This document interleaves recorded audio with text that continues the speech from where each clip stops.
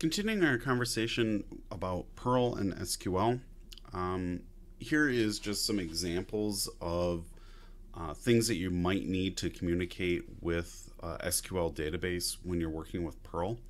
Uh, as we talked about before, you're going to need things like your data source name and your database handle, uh, as well as your uh, database interface. So uh, you can see what I've done here is I've set up a local path with my local file. I'm saying that my data source name now is uh, your database interface SQLite and DB name equals those two variables. Uh, we're not using any sort of authentication, so just username and password are blank.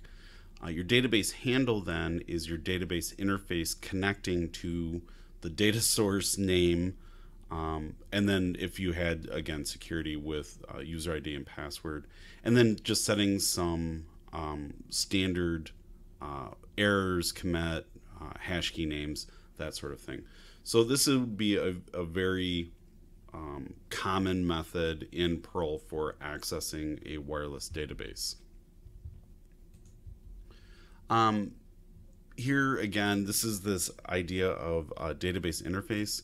Um, we're just saying connecting to the data source uh, with a username and password with other attributes.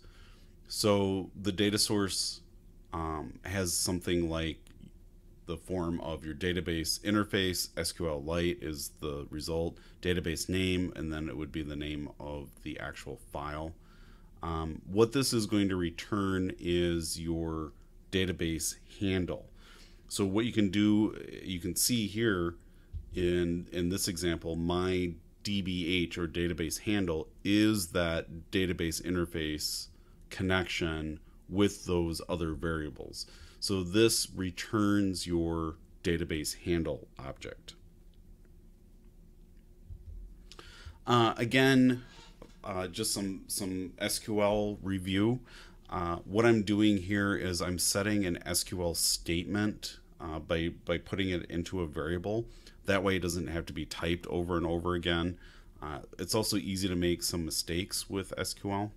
So in these two examples here, uh, I'm selecting the altitude from the wireless access point table where manufacturer equals Apple. So what this would do is return um, every altitude of every Apple wireless access point. On the second example, I'm setting my SQL statement to um, return the manufacturer and then the average of the best altitude and the count.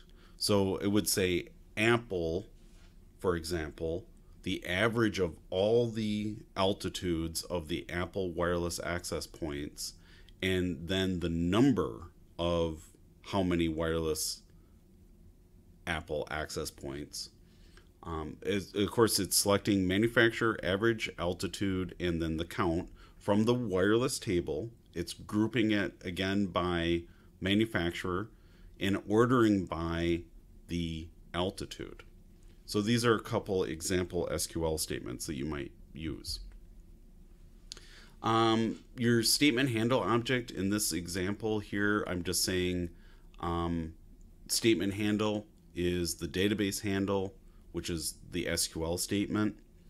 Um, so it's it's a little bit confusing, but it's basically your database handle um, prepares your SQL statement and then returns whatever your SQL results would be. Um, the statement handle actually uh, executes it. So these are a, a couple ways of preparing, retrieving the SQL, preparing the SQL, retrieving the SQL, and then processing the SQL results. Uh, in this example, um, I'm doing a uh, while um, item in list. So while there are rows on that statement handle of um, fetching each row from the array, it's going to print uh, those three results, which in this case would have been manufacturer, best altitude, and count if you go back and look at the uh, SQL statement.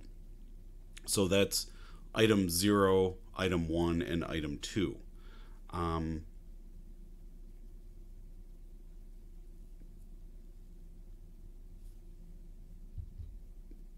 when you're done using the database, make sure that you disconnect. Uh, this would just close the connection uh, uh, from your uh, SQL.